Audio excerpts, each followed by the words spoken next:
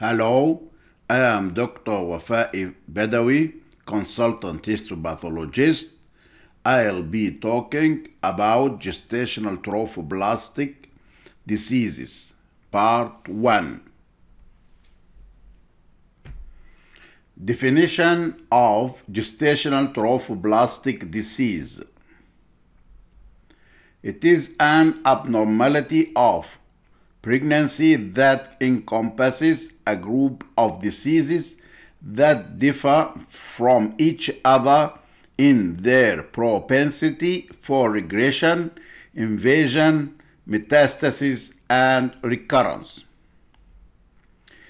They constitute a spectrum of tumors and tumor-like conditions characterized by proliferation of pregnancy-associated trophoblastic tissue of progressive malignant potential. Modified WHO classification of gestational trophoblastic disease. Hydatidiform moles abnormally formed placentas, including complete hydatidiform mole, partial hydatidiform mole, invasive mole, gestational trophoblastic neoplasms include choriocarcinoma, placental site trophoblastic tumor, epithelioid trophoblastic tumor, trophoblastic tumor-like lesions, that is benign lesions including exaggerated placental site, placental site nodule or blood, unclassified trophoblastic lesions, abnormal non-molar villus lesions. Types of gestational trophoblastic diseases. It depends on the presence or absence of villi. With villi including hydatidiform mole, complete hydatidiform mole, partial mole, invasive mole, persistent mole, choriocarcinoma. Without villi, including placental site nodules and plaques, placental site trophoblastic tumor, epithelioid trophoblastic tumor, choriocarcinoma. Hydatidiform mole. Definition and general background. They are one of the most common but benign forms of gestational trophoblastic diseases. It is estimated to occur in one of every 1,000 to 2,000 pregnancies. They are almost always occur in the reproductive, reproductive age group, although rare cases occur in postmenopausal women. Familiar recurrent hydatidiform mole represents less than 2% of all hydatidiform moles. It occurs in complete mole. Hydatidiform mole is characterized by variable trophoblastic proliferation, cystic swelling of the chorionic villi. They are subdivided into complete hydatidiform mole, partial hydatidiform mole. These two forms of hydatidiform mole have different cytogenetic patterns that are accompanied by different clinical pathologic profiles and different degrees of risk for the development of gestational trophoblastic neoplasm. Increase, increased beta HCG that is more than 100,000 MIU per ml. It is more incom- uh, it is more incomplete mole. Risk factors. They include personal or family history of gestational trophoblastic disease, two or more previous spontaneous abortions, infertility, smoking, increased maternal age as the risk increases progr- progressively for women over 40 years. Complete hydatidiform mole, CHM. General background. A complete hydatidiform mole is the commonest type of gestational trophoblastic disease. It shows a non-invasive diffuse swelling involving most of the chorionic villi, that is, grape-like villi. The complete mole is diploid and diandric, that is androgenetic diploidy, meaning that both genomic complements are of paternal origin, that is, two sets of paternal chromosomes. Complete mole results from fertilization of an empty, that is, anuclear ovum that lacks functional maternal DNA. It the complete hydatidiform moles are not compatible with embryogenesis and never contain a fetus or fetal parts. In other words, paternal chromosomes are enough to form placental tissue, but not a fetus. Complete hydatidiform moles usually occupy the uterine cavity and rarely located in fallopian tubes or ovaries. Genetic basis of complete hydatidiform moles. All the chromosomes are derived from a single haploid, 23X sperm, in which the haploid genome duplicates or formed by a dispermy, that is, fertilization of an ovum lacking functional maternal chromosomes by two spermatozoa. Approximately 90% of complete hydatidiform moles have a 46XX diploid chromosomal pattern, with approximately 10% having a 46XY composition. Rare complete hydatidiform familial recurrent are characterized by parental diploid. These may be related to maternal mutations in L, NLRP7 or KHDC3L. Monospermic CHM, a single sperm with 23X fertilizes an empty ovum, anuclear ovum, chromosomal duplication, leads to 46XX.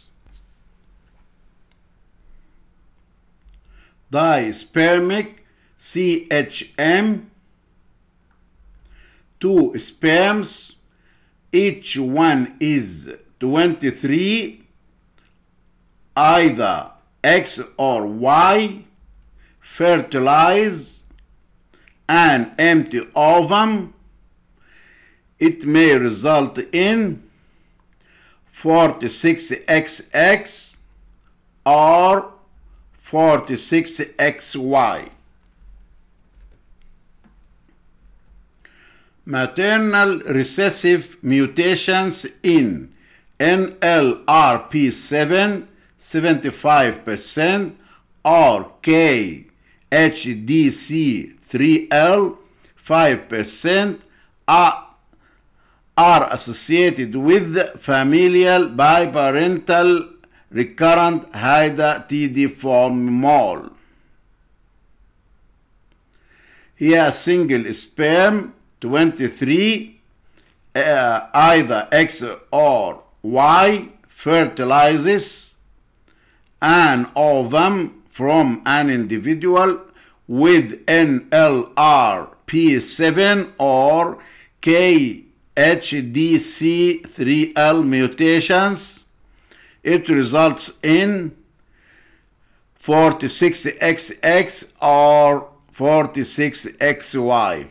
It is that is by parental diploid CHM. What is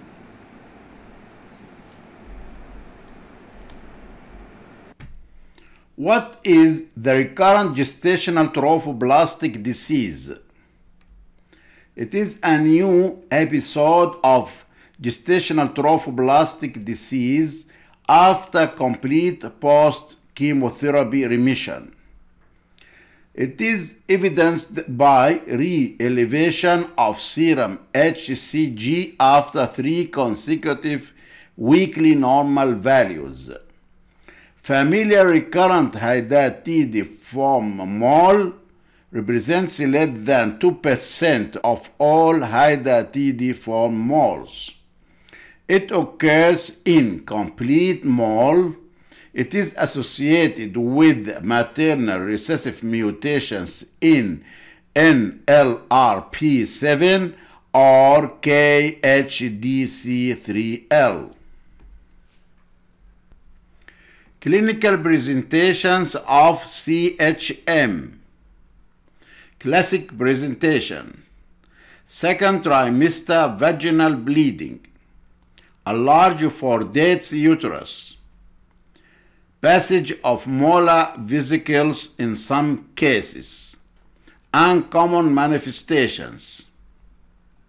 Preeclampsia in early gestation, less than 20 weeks gestation, hyperemesis gravidarum, hyperthyroidism, hyperreactio luteinalis,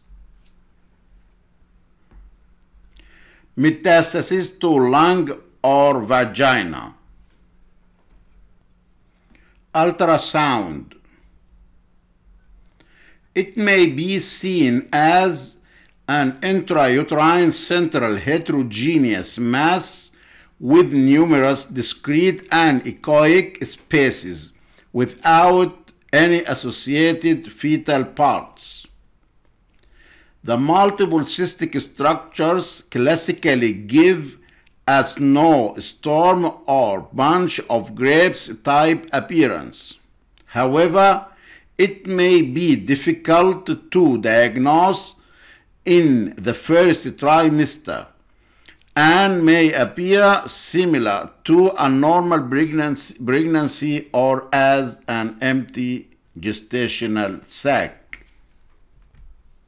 Ultrasound and MRI of theca lutein cysts Theca lutein cyst hyperreactio luteinalis are the largest of the functional cysts that is a rare benign physiological ovarian enlargement and appear as very large bilateral multiloculated cystic masses.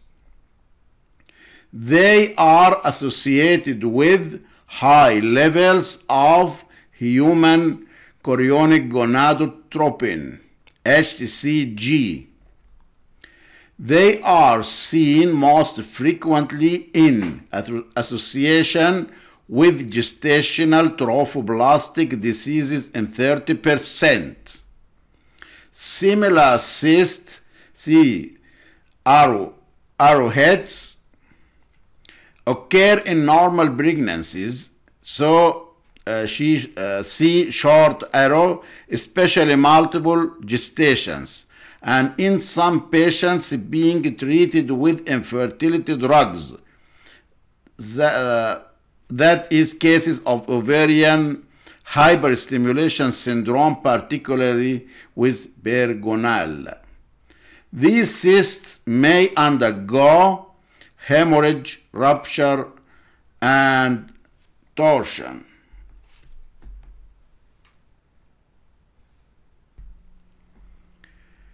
Both ovaries are enlarged by, enlarged by multiple thin-walled cysts.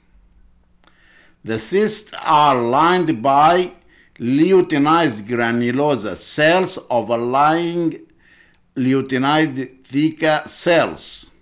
The interfollicular stroma is edematous and may con also contain luteinized stromal cells.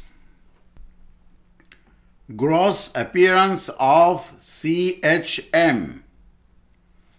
Here we see complete mole in which the entire uterine cavity is filled with grape-like swollen villi.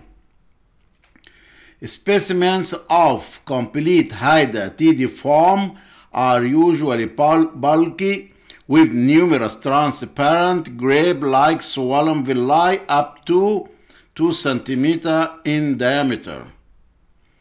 No gestational sac, amnion, umbilical cord, or, or fetal tissue.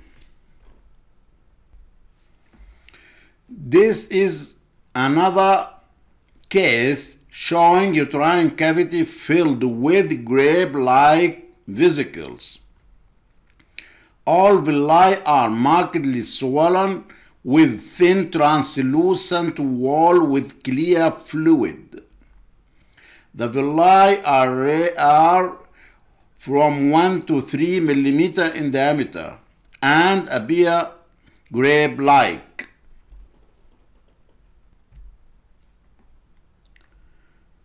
Microscopic appearance of CHM. Individual molar villi, many of which have cavitated central cisterns, exhibit considerable circumferential trophoblastic hyperplasia along with atypia. The blood vessels of the villi have atrophied and disappeared. That is avascular villi.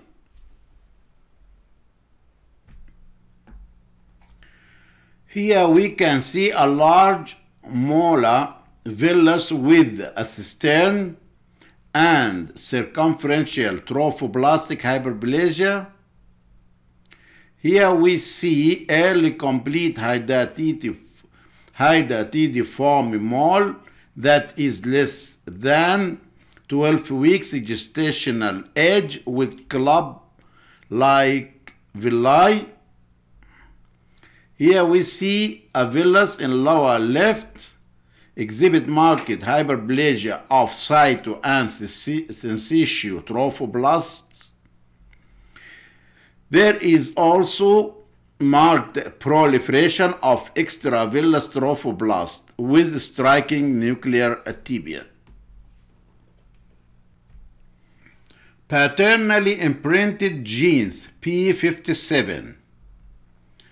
The complete hydatidiform moles characteristically lack maternal chromosomes.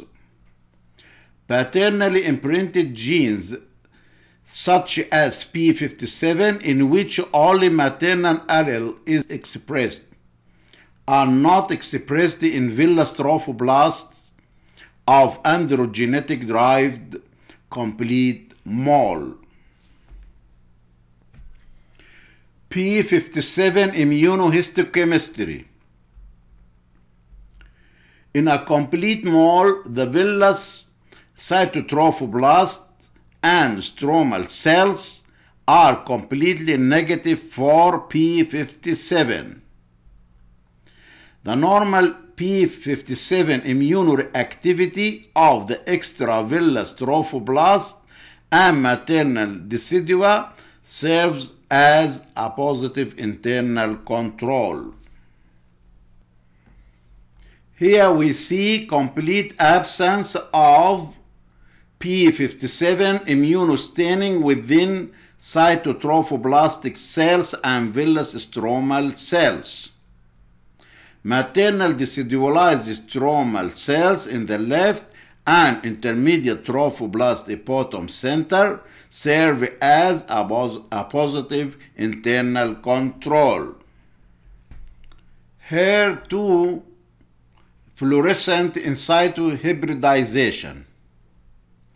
Fish for HER2 may be a useful ancillary study to aid in the diagnosis and classification of hydatidiform moles. Here we see two HER2 signals in the center cell, suggesting diploid DNA content. That is fish analysis. Behavior of CHM. Persistent gestational trophoblastic disease occurs in 15 to 20 percent of CHM requiring chemotherapy. Post-molar choriocarcinoma occurs in 2 to 3 percent of cases. 100% cure rates are achieved in the patients who have non-metastatic disease, good prognosis metastatic disease, pulmonary, pulmonary or vaginal metastasis, HCG levels less than 40 thousandths MIU per ml, short duration of disease, cure rates of more than 80% have been achieved even in patients with bad prognosis metastatic disease such as to the brain, liver, kidney metastases, HCG levels more than 40,000 MIU per ml, gestational tumor after a term gestation. Risk factors for persistent mole. Hallmarks are failure of HCG levels to normalize after initial after initial evacuation and residual molar villi in a repeat curettage. That is persistent hydatidiform mole. Inv invasive mole chorioadenoma destruens occurs in 5% to 10% of CHMs. Post-molar choriocarcinoma occurs in 2 to 3% of cases. The risk increases with maternal age more than 40 years, previous molar pregnancy, pre-evacuation serum HCG levels of more than 100,000 MIU per ml, pre-evacuation uterine size large for dates, or larger than 20 weeks gestation, medical complications of molar pregnancy, such as the presence of hyperreactio luteinalis, preeclampsia, hyperthyroidism, trophoblastic emboli. Partial hydatidiform mole. General background. It accounts for approximately 15% to 35% of all moles. Almost all partial hydatidiform moles have diandric triploidy, two paternal sets, and one maternal set of chromosomes. Fetuses associated with a partial mole are typically growth retarded and usually die after 10 weeks of gestation.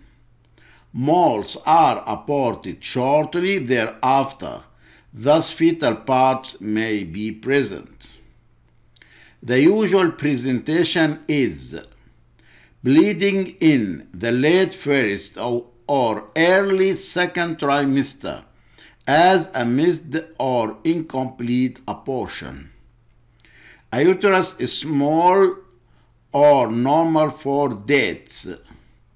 An HCG level that is usually low to normal for gestational age, although rarely it is as high as in complete hydatidiform moles. Genetic basis of PHM. Almost all of almost all PHMS have diandric triploidy, two paternal sets and one maternal set of chromosomes. Rarely they are tetraploid, three sets of paternal chromosomes and one set and one maternal set. Most have a 69 triple X, XXX or 69XXY karyotype and a few show trisomy 16. This abnormal chromosomal complement results from fertilization of a normal ovum 23X by two spermatozoa, each with 23 chromosomes, or a single spermatozoon that failed meiotic reduction and has 46 chromosomes. That is a reduplicated paternal haploid genome.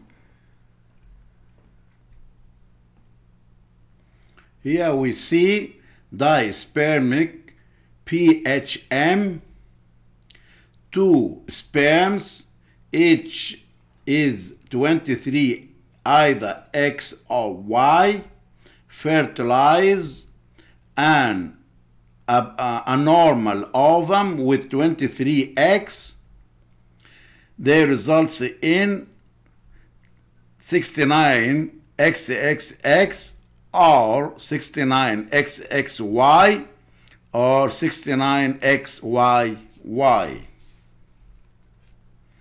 That is diandric triploidy. Monospermic partial hydatidiform mole, a single sperm with haploid 23, either X or Y, fertilizes a normal ovum with 23X. Paternal chromosomal duplication occurs, resulting in 69 XXX, 69 XXY, 69 XYY, that is diandric triploidy. Ultrasound of PHM. Here we see transvaginal image of the uterus showing the vesicular tissue and the fetus. Some partial, partial moles can have sonographic appearances indistinguishable from those of the common complete moles. That is a snowstorm or bunch of grapes type appearance. Gross appearance of partial hydatidiform moles. Here we see all scattered grape-like villi. In other words, the molar pattern did not involve the entire placenta. Here we see partial mole with attached fetus. The diagnosis was confirmed by biopsy and flow cytometry. Although fetuses in partial moles are growth retarded, here the fetus showed no abnormality and was connected to the mole by a normal umbilical cord. Here we see scattered grape-like masses with intervening normal appearing spongy pale red placental tissue. The grape-like masses are not as large as the masses seen with a complete mole. Microscopic features of partial hydatidiform mole. Microscopically, the hallmark of par a partial mole is a mixture of two populations of large edematous villi and small normal sized villi without edema. Evidence of early fetal development is common and includes stromal blood vessels with nucleated erythrocytes, ectatic anastomosing angiomatoid villus vessels, which occur in 20% of second trimester PHM.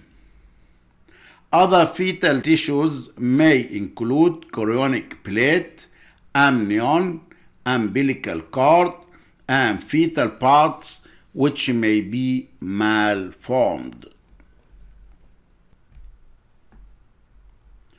There are two populations of villi comprised of small fibrotic villi, large hydropic villi with scalloped outlines, not villus with a central acellular cistern. Not here in this photo, no trophoblastic inclusions, trophoblastic invaginations, and syncytial trophoblastic knuckles. In this photo, we see ectatic anastomosing and angiomatoid villus vessels.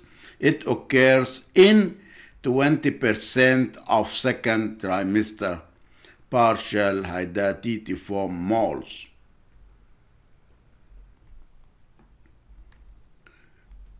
Heterogeneity in villus size with two discrete, discrete populations of villi, small fibrotic villi, and, and large hydropic villi. Here we see enlarged villi are which are irregularly shaped with scalloped borders and secondary trophoblastic pseudo-inclusions. Hydropic, hydropic villi with cistern formation.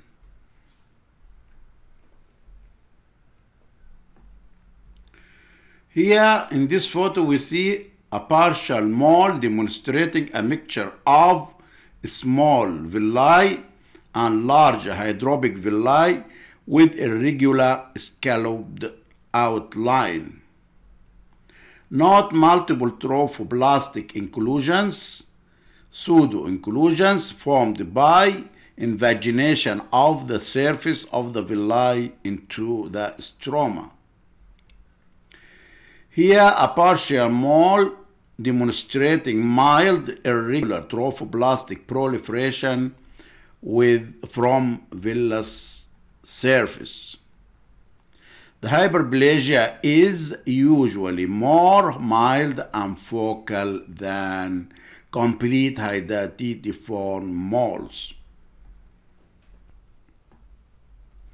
Primitive fetal nucleated red blood cells are generated in the yolk sac mesoderm and remain the predominant blood cell type in the embryonic circulation until 10 weeks after conception. In partial hydatidiform mole, nucleated RBCs, that is, fetal cells, are detected in blood vessels after 10 weeks of gestation. CD71 is also called the transferrin receptor marker is an effective marker for erythroid precursors. CD71 is a membrane protein expressed on nucleated red blood cells and trophoblasts. Nucleated RBCs are not detected in complete moles by means of either morphology or immunohistochemistry.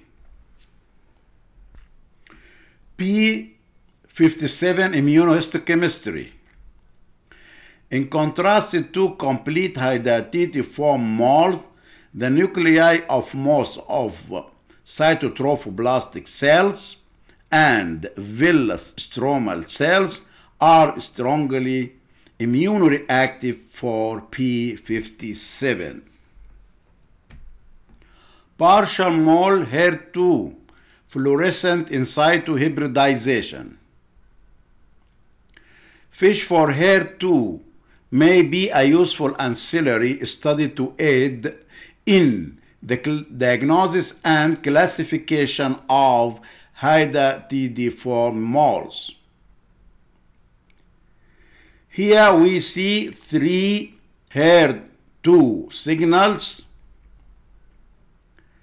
in the center cell suggesting triploid DNA content. Behavior of PHM. Persistence occur in less than 1% of cases. Rare reported PHM associated complications include invasive mole, metastatic mole, choriocarcinoma, placental site trophoblastic tumor.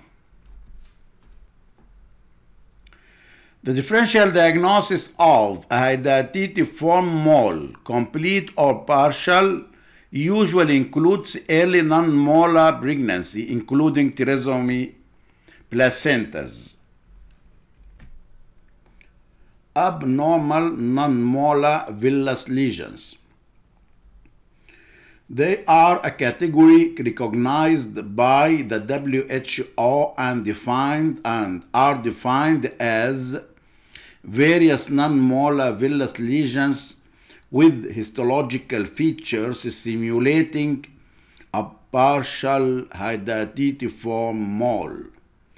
The morphology has a similar spectrum to a PHM with villous irregularity in size and shape, varying degrees of trophoblastic hyperplasia with occasional syncytiotrophoblastic buds or snouts. Scalloped villus outlines and rarely trophoblastic inclusions. These morphologic characteristics can be manifest of hydropic abortion, digynic triploid conceptions, that is digynic monoandric conceptuses, and chromosomal trisomy syndromes. Non-molar tubal pregnancies can be misdiagnosed as hydatidiform moles due to the presence of hydropic villi, sheets of extravillous trophoblast, and in some cases invasion of tubal wall. DNA genotyping typing is encouraged for distinction between PHM and these diagnoses. With regard to the differential diagnosis between partial mole and hydropic abortion, in the later gross villus swelling and cistern formation are not present. As already stated, the villus trophoblast in spontaneous abortions either is attenuated or if proliferating has a polar distribution. It means confined to the villus tips. Furthermore, trophoblastic atypia is absent or minimal. DNA flow cytometry for ploidy assessment and FISH for HER2/neu studies, that is genotypic analysis, are of great assistance in the evaluation of this problem, with triploidy favoring a diagnosis of partial mole. However, the genotypic analysis is not widely available and is relatively expensive, so the diagnosis of molar pregnancy is still based largely on routine histology with liberal use of P57 immunostaining. Microscopic features. Here in these two photos, we see hydropic villi, balloon-like distended villi with hydropic change from a miscarriage showing diffusely attenuated trophoblast, that is, no trophoblastic hyperplasia seen.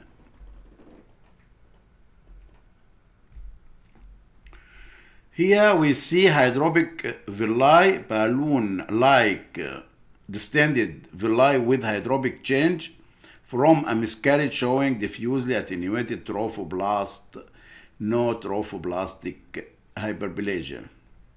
Some villi may show normal, polar, or apical cytotrophoblast and or intermediate trophoblast. Cistern formation is usually absent or rare and less than 3 millimeter.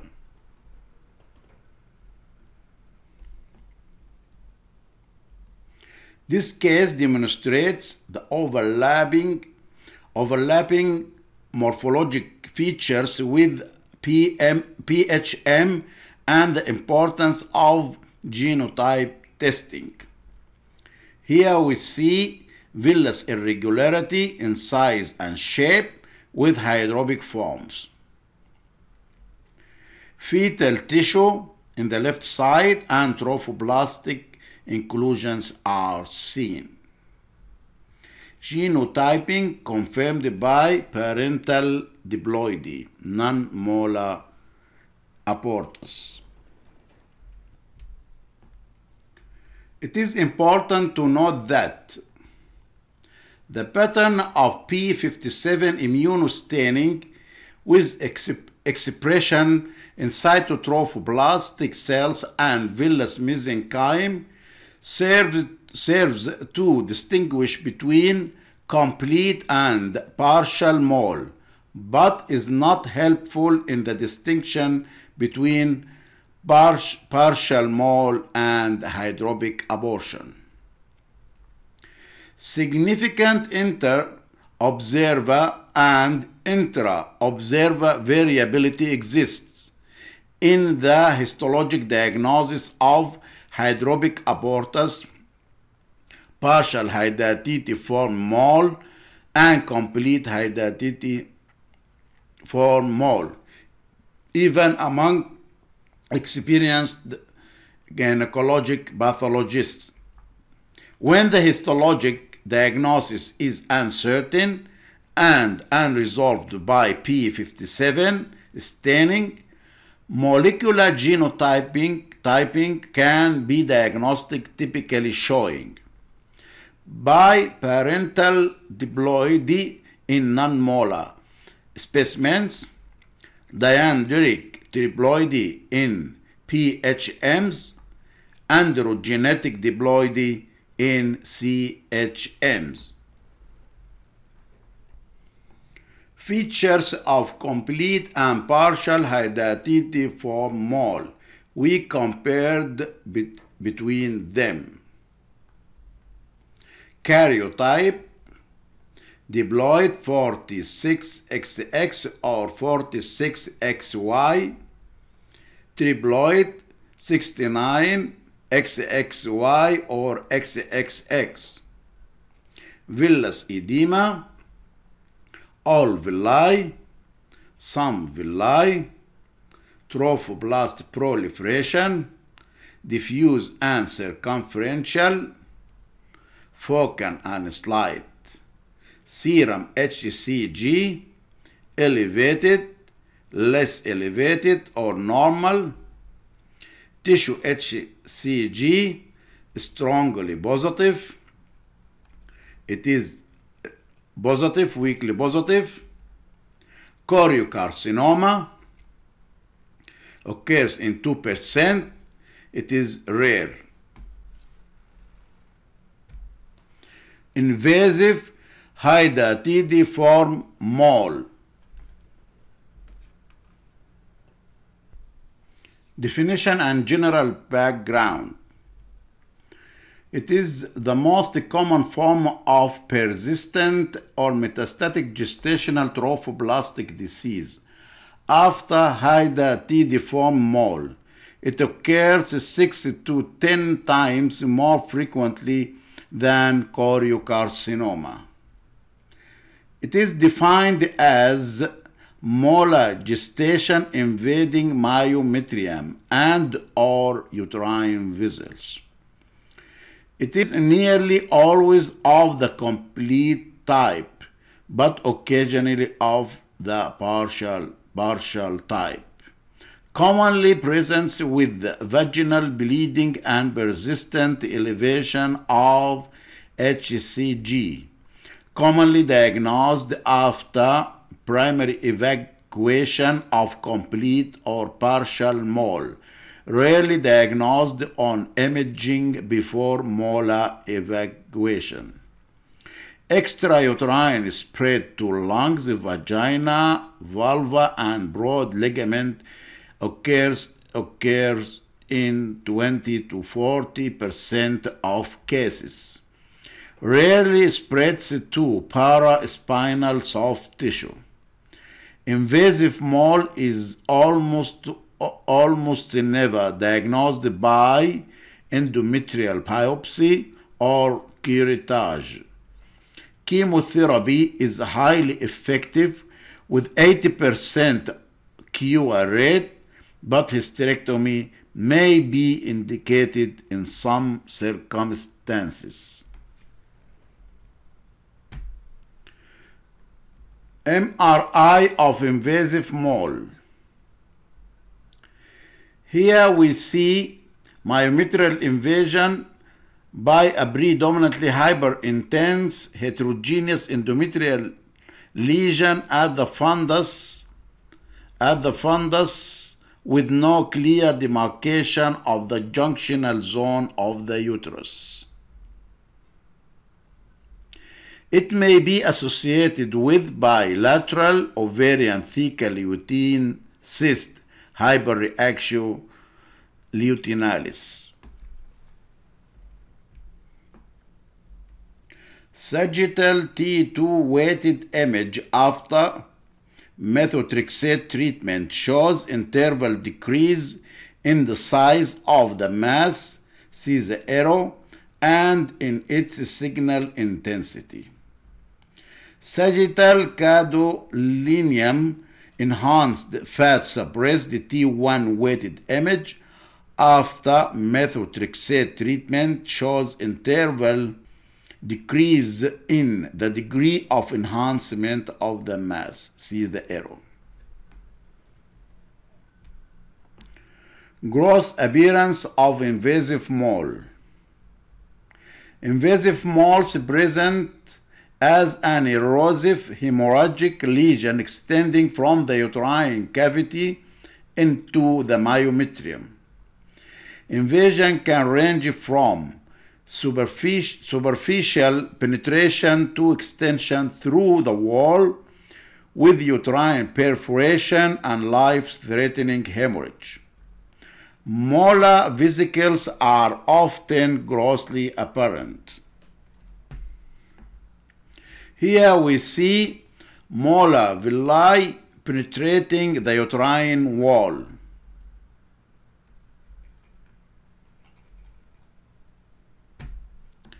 Microscopic appearance of invasive mole. Here we see hydropic villi covered by proliferating trophoblast permeating the myometrium in this invasive mole.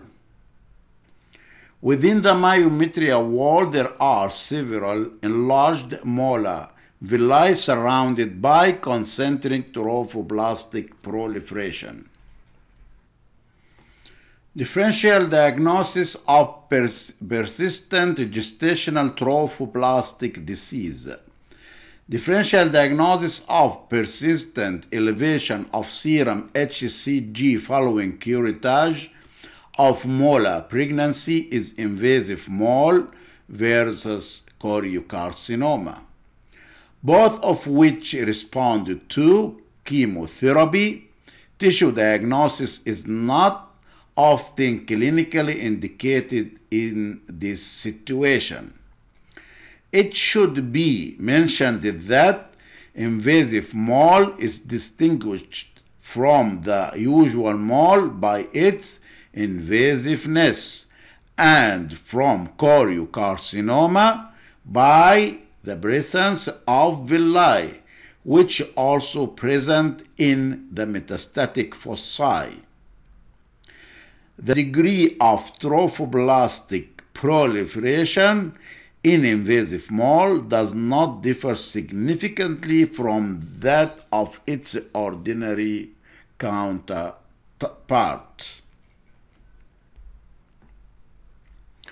After hydatidiform mole has been evacu evacuated, a, a subsequent curettage may be done for persistence or elevation of follow-up HCG titers or for significant uterine bleeding. If the specimen contains pers persistent hydatidiform mole, it will show residual molar villi mixed with trophoblast. Usually the amount of tissue and villi are greatly reduced compared to the original curettage specimen. But if villi are present, the diagnosis remains that of persistent intracavitary cavitary mole. However, the trophoblastic proliferation may be exuberant. Here in these two photos, we see prominent trophoblastic proliferation with atypia extending from the surface of a villus found in curettage specimen after evacuation of a hydatidiform mole. This should be diagnosed as persistent hydatidiform mole. Management of hydatidiform mole. They are treated treated by evacuation of the uterus with follow-up serial beta HCG tests until undetectable levels are obtained. Highly effective means of contraception are recommended to avoid pregnancy for at least 6 to 12 months, as 10% to 30% of complete moles and 0.5% to 4% of partial moles are result in persistent or metastatic gestational trophoblastic disease, for example, choriocarcinoma and invasive mole, as evidenced by a plateau or rise in HCG tits or the presence of extrauterine disease. If the titer is plateau or rise, gestational trophoblastic neoplasia is diagnosed and the patient receives chemotherapy such as methotrexate. These are the references. Thank you.